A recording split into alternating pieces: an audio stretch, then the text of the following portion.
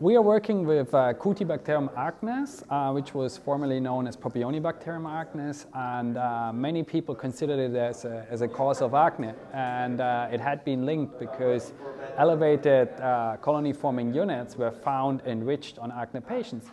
The puzzling bit, though, was always that the number of colony forming units per square centimeter of skin increased during puberty, reaching its peak after puberty and then maintained more or less stable throughout the life. However, acne disappears after puberty. So the number of bacteria is still high, but the acne is gone. And there it started for us actually that the connection, the presence of the bacteria and it causing acne is not as simple as it might seem. At the same time, we knew from existing treatments like benzoyl peroxide that obviously uh, uh, Propionibacterium acnes plays a role or bacteria play a role in uh, the onset of acne.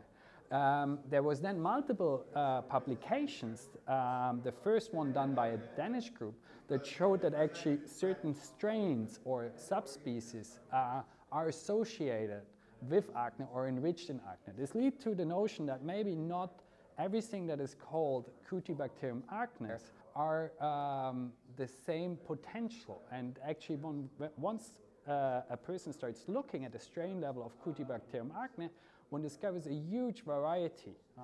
And uh, we exploit this variety by searching for strains that are not bad during acne, so they're neutral. But if we replace uh, acne-causing uh, C. acnes strains with one of those neutral ones, we can uh, reduce the symptoms. And we could already show in a first clinical study that actually we can increase the relative abundance of C. acnes on acne patients while at the same time reduce the total lesion count on those patients in a statistically significant manner.